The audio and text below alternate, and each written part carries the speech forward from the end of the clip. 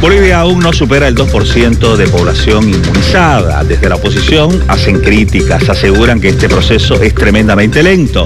Desde el movimiento socialismo lo justifican asegurando que cuesta conseguir vacunas y que este es un problema mundial.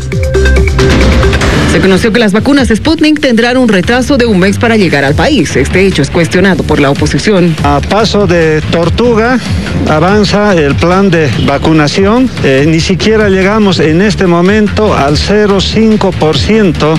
Aseguran que es evidente que el proceso de inmunización es lento y que esto pone en riesgo la salud. Mientras hay países que ya han llegado al 40%, la Argentina al 7%, Uruguay al 11%, lamentablemente en nuestro eh, país se ha descuidado la eh, vacunación. Al respecto, parlamentarios del MAS aseguran lo siguiente. Producto de la diplomacia de los pueblos y de la relación que tenemos con el Estado chino y con el Estado ruso, tenemos la posibilidad de contar con vacunas. Evidentemente necesitamos mayor cantidad, la que llegue con mayor intensidad las vacunas. Además, argumentan que el retraso es a nivel mundial. Son desfases producto de que a nivel mundial incluso está escaseando vacunas.